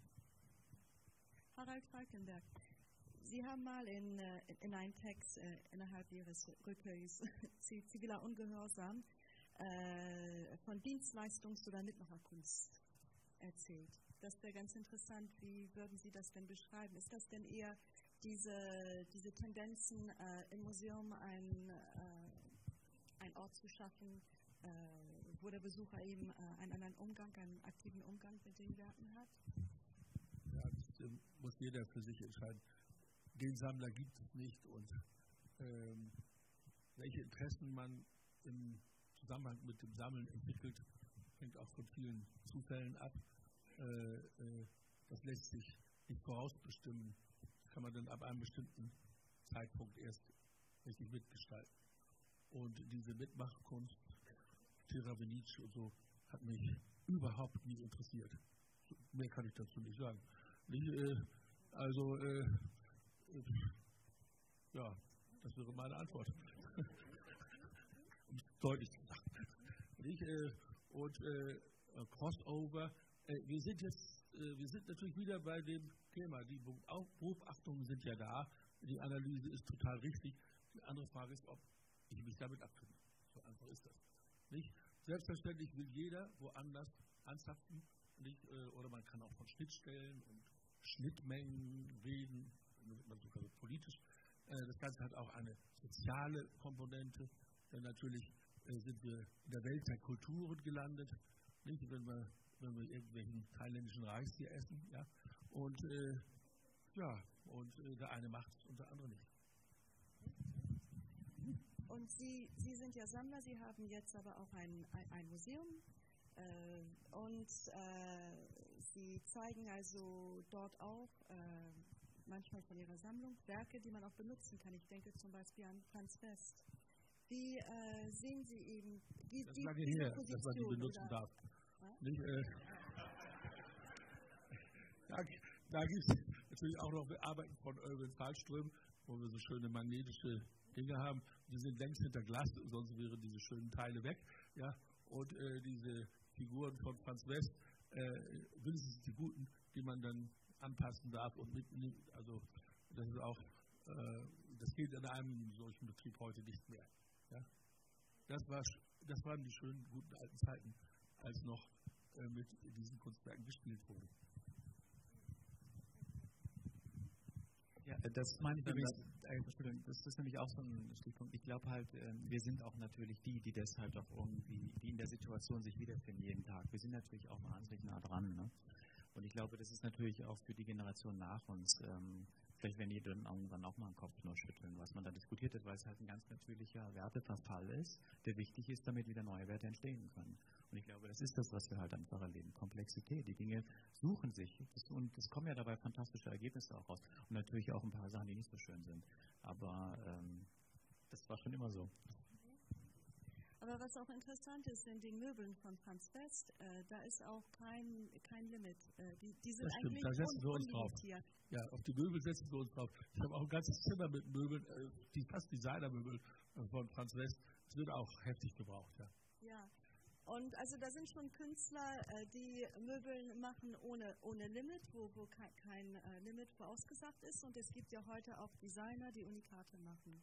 Und das wäre ein von den letzten Themen, äh, die wir heute Abend vielleicht besprechen können. Nämlich dadurch kommt äh, auch eben äh, diese ganze Fragestellung zu, ist äh, Designkunst. Das ist auch teils durch diese Unikate, die äh, unter anderem äh, von solchen Galerien wie Creo in Paris vertrieben werden, die auch, der auch einer von den Mitbegründern ist von der Design Basel Miami ist, wo man auch weitere Galerien sieht, die auch oft ähm, entweder klassisches Design, äh, was äh, schon eine Rarität hat, äh, verkaufen oder eben Designer von heute eben äh, ermöglichen, äh, Unikate oder kleinere Auflagen äh, her, herzustellen. Und wenn man Didier Krentowski, der, der Leiter von der Galerie Creo, hört, sieht er das auch als die Möglichkeit, einem Designer äh, die Freiheit zu geben, äh, zu experimentieren, was ja ganz interessant ist. Außerdem müsste man sagen, dass äh, Didier Krentowski eigentlich Kunstsammler war äh, und noch immer ist. Er hat ja auch, äh, ich weiß von einer Arbeit von äh, Tobias, aber vielleicht auch mehrere. Und er hat sich dann im Designbereich engagiert.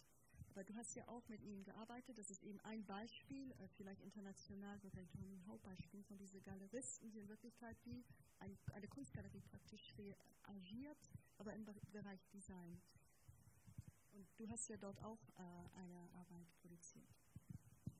Also ähm, diese äh, De Design, was sozusagen in, in, in Form von limitierten Auflagen oder als, als, als Einzelstücke hergestellt wird, das hat, ähm, obwohl ich mich am Anfang äh, davon abgegrenzt habe, weil ich gesagt habe, ich bin Industriedesigner, ich arbeite eigentlich für so das ganze andere äh, Ende des Spektrums.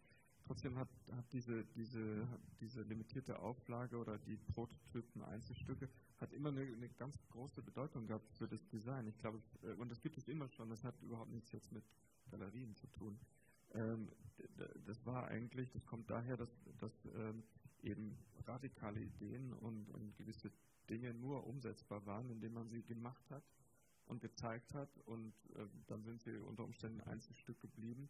Und es gab immer schon ähm, Designer, also zum Beispiel Stotzers, der ähm, einer der, der, der wirklich äh, wichtigen Pioniere des, des unseres äh, zeitgenössischen Design war, der hat äh, natürlich in den 50er Jahren nach dem Weltkrieg in Italien eigentlich keine Hersteller gefunden. Der hat, um, um Ideen re realisieren zu können, um sie auszuprobieren, um seine Ideen zu entwickeln, hat er, äh, hat er ähm, Dinge in kleinen Auflagen hergestellt und angefertigt.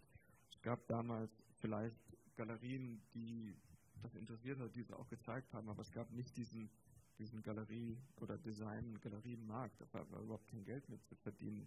Auch Mark Newton hat so angefangen, der eigentlich äh, als Goldschmied äh, ausgebildet ist und sozusagen Dinge selber gemacht hat. Äh, also der so auch aus dem, aus dem Herst aus dem handwerklichen Bauen äh, kam und zum Beispiel als Student seine Locket Lounge, äh, äh, die hat er selber gemacht äh, in der Garage, die letztes Jahr, glaube ich, für eine Million US-Dollar verkauft wurde.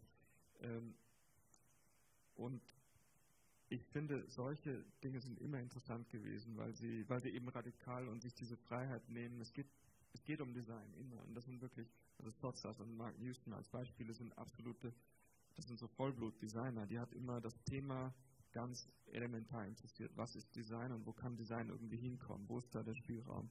Die haben das ausgereizt durch diese, durch diese extremen Dinge, haben aber auch immer für die Industrie gearbeitet und genauso wie irgendjemand hat es vorhin gesagt, daraus geschöpft, auch äh, Stotzers hat später für Olivetti Schreibmaschinen entworfen und die haben was mit den Keramiken zu tun, die er äh, sozusagen zur gleichen Zeit oder zehn Jahre vorher gemacht hat und Houston, das Locket Lounge hat äh, was mit den Dingen zu tun, die er für die Industrie gemacht hat.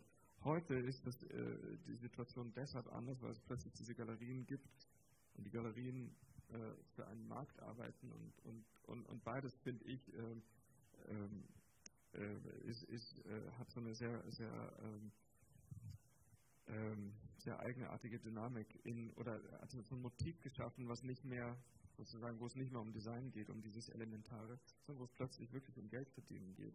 Das heißt, es gibt heute eine Generation von Studenten, die studieren Design, um für Galerien zu arbeiten, um mit Einzelstücken Geld zu verdienen. Und ähm, das für mich ähm, ist, wird plötzlich sehr, also ich, ich sehe das sehr kritisch. Ich, mich interessiert das überhaupt nicht. Da geht es nicht um Experimentieren, da geht es tatsächlich darum, einen gewissen Markt, den es im Moment gibt, wirklich zu bedienen und sich dem anzubiedern. Man macht die Dinge aus Marmor, man vergoldet sie, äh, man macht sie möglichst ähm, irgendwie äh, mit, mit Handwerkern, die, die dafür fünf Monate brauchen, um das herzustellen.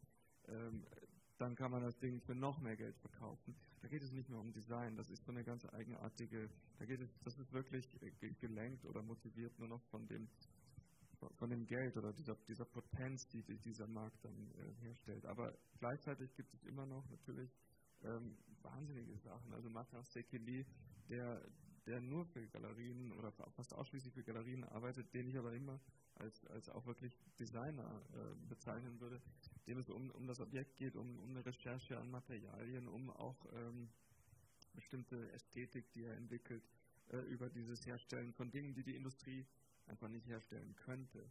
Äh, und da, das ist natürlich das Interessante, die Industrie kann es heute vielleicht nicht herstellen, vielleicht in 20 Jahren. Ähm, es gibt diese äh, Querbezüge und deswegen, äh, es gibt, äh, also die beiden Dinge dürfen und sollen gleichzeitig existieren das, was ich kritisch finde, ist nur sozusagen, wenn, wenn die Galerie und der, der, das Geld, was dahinter steht, äh, zum, zum einzigen Motiv wird.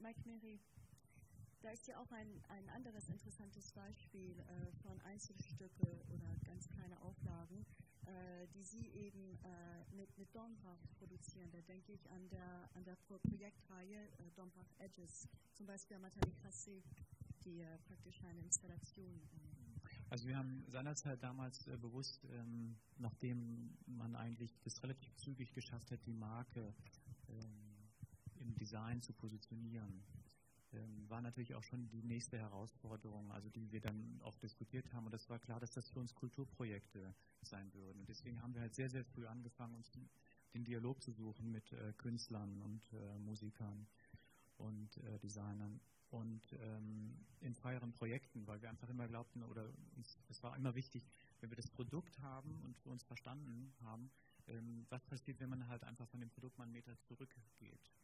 Wo, in welchen Räumen tauchen eigentlich die Produkte auf? Das war also dann für uns der Kontext. Und da war das halt einfach sehr spannend, eben ähm, über eben die Autoren im Sinne der Künstler oder Künstler anzusprechen, die dann halt als Autoren aufgetreten sind und haben dort ganz ähm, ja, subjektive Recherchen betrieben. Und das war so interessant, weil wir auf einmal ähm, darüber halt eigentlich zu Ritualen gefunden haben, ein Ritualbewusstsein. Und wir begriffen haben, dass die Räume natürlich sehr, sehr sensibel sind. Und das ging halt in diesen Kulturprojekten weiter und ähm, da war dann eben halt auch die Mathalie Grasset, die dann halt äh, ein Objekt entwickelt hat, einen Baderaum, den sie dann halt auch in der Galerie Fiedler ausgestellt hat hier. Und es war schon sehr spannend zu sehen, dass man halt einfach wirklich in diesem sehr, ähm, also wir hatten gesagt, es geht sicherlich irgendwie um Reinigen im Bad, aber es ging jetzt mal darum, jetzt Produkte zu inszenieren, sondern es war wirklich der Gedanke, ähm, eine sehr freie Meinung sich einzuholen. Und das war einfach für uns eine, eine sehr spannende ähm, Testphase oder auch so eine Forschung, weil wie so ein ja, wie eine Art Selbst, äh, nicht Selbstversuch, aber es ist so, so, so, eine Forschung, die halt eher kulturell ähm, intuitiv getrieben war, denn eher so hart analytisch. Und ähm, daraus sind dann halt, sage ich mal, auch diese Objekte entstanden, aber das sind ja keine Auflagen, das sind einmalige Geschichten, die wir quasi dann als Anschluss, als Impuls, äh, kann man äh, diesen Bereich einfach auch anders denken oder die Abläufe, die dort stattfinden. Dankeschön. Sie sehen, das ist schon ein sehr breites Thema. Wir könnten noch stundenlang äh, darüber reden. Und es wäre natürlich jetzt vielleicht ganz schön, alle wären nämlich auch schon ein bisschen müde, äh, aber vielleicht haben Sie auch noch einige Fragen. Und dann äh, können wir auch äh, über die Problematik weiter diskutieren, draußen äh, um Kölsch und Brexel, wie man es hier in Köln tut, äh, auf ganz sympathische und informelle Weise.